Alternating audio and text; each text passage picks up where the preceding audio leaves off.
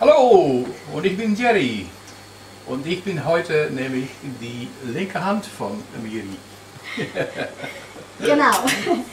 So, ähm, viele von euch haben mich mal darum gebeten, ob ich nicht mal was Philippinisches für euch machen könnte. Und ähm, da habe ich mir überlegt, wir machen einen philippinischen Nachtisch. Und zwar heißt der Palitao.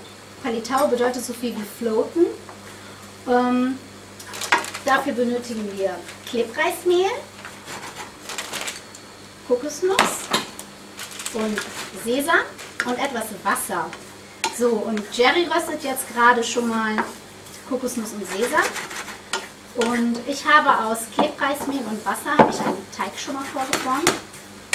Ähm, das genaue Rezept äh, findet ihr dann wieder unten in der, in der Infobar. Nur damit das alles schneller geht, habe ich das schon mal vorbereitet. So. Und das gleiche mache ich das nächste Mal aus Indonesien. Und bei mir heißt es dann Klepon.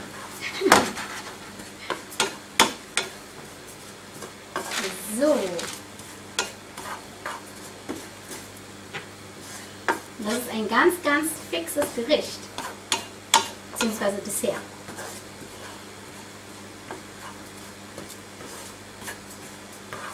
So, ich schneide das hier in kleine Stücke. Wie dunkelbraun es haben? Ich glaube, das reicht schon. So, und ihr könnt entweder Kugeln formen oder so platte Platten. Dann werden die einfach in das kochende Wasser gegeben und wenn die floaten, dann ist eigentlich schon fertig.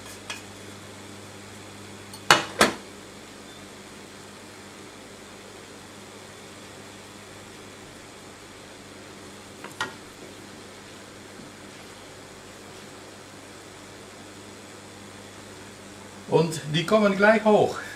Genau.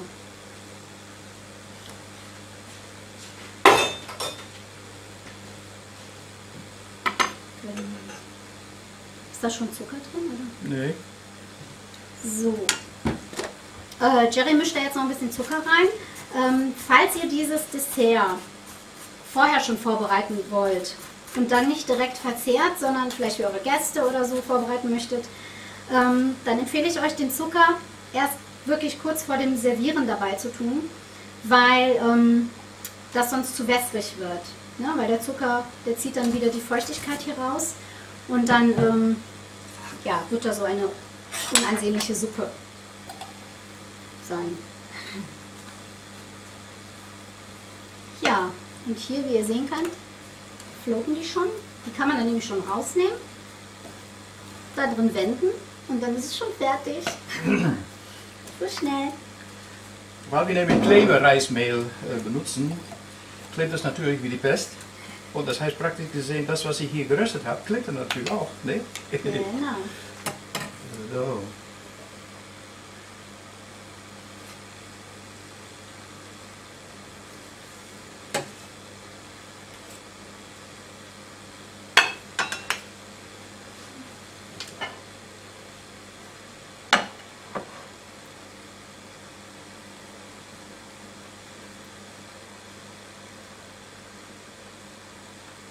Das ist doch mal ein schnelles Dessert.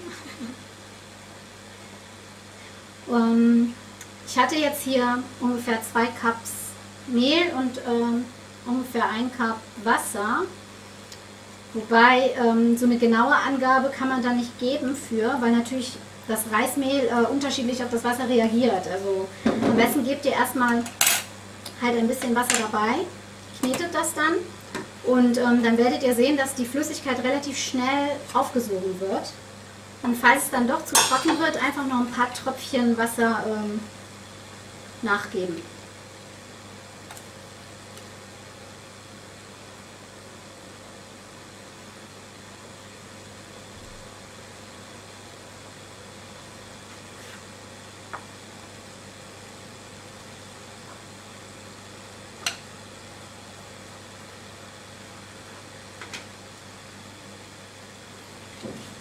Ja, das sieht auch sehr schön aus, ne? Und wie schnell die Jungs hochtreiben.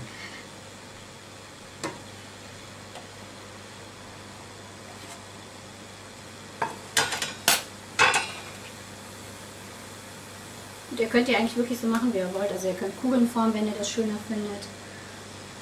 Ihr könnt auch rein theoretisch ähm, Sterne bauen. größere, dicke Kugeln machen und die dann, ähm, nachdem ihr die gewendet habt, in so Muffinförmchen reintun.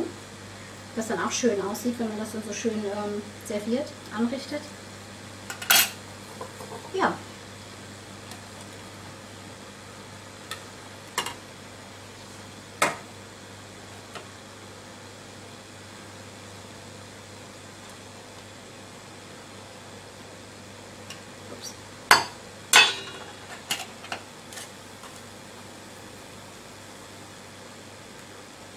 Und wenn ihr das ausrollt, dann tut ein bisschen einfach von der Stärke mit auf eure Arbeitsfläche und dann klebt das auch nicht.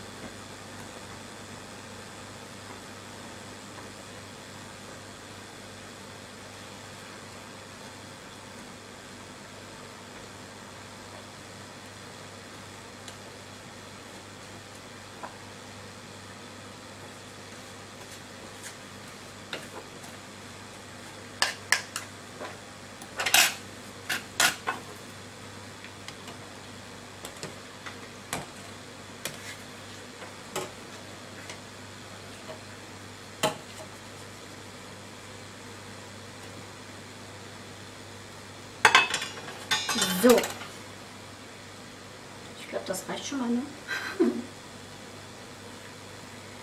Ich weiß nicht, vielleicht äh, sind unsere Kameraleute sehr hungrig.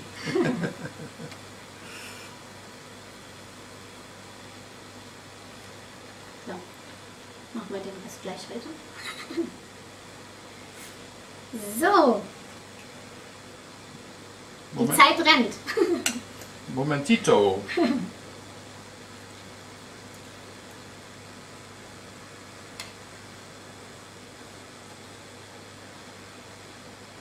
So. Ihr braucht ja jetzt nicht stundenlang zu gucken, wie wir das hier noch machen. Das ist immer das Gleiche. Bei mir nicht. Manchmal drehe ich auf links, manchmal drehe ich auf rechts. So, das war ein philippinischer Dessert. Palitao. Und es schmeckt bestimmt sehr gut. Ja, das war's. Tschüss! Tschüss.